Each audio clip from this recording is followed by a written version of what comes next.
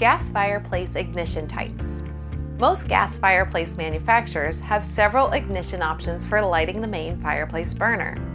The two most common are millivolt ignition and electronic ignition. The term millivolt or standing pilot refers to a fireplace that requires the user or installer to manually light the pilot light.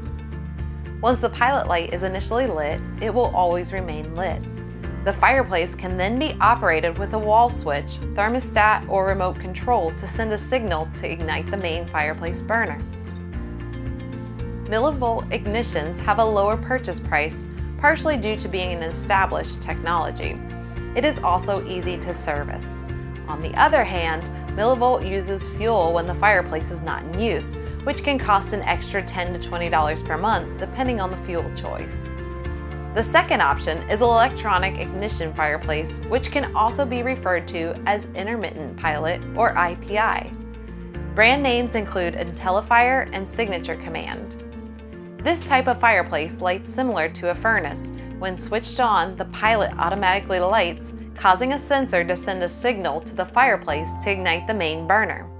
When the fireplace is turned off, the pilot light also goes off, saving money on overall fuel costs because the pilot only lights when it's needed, making this type of ignition more environmentally friendly.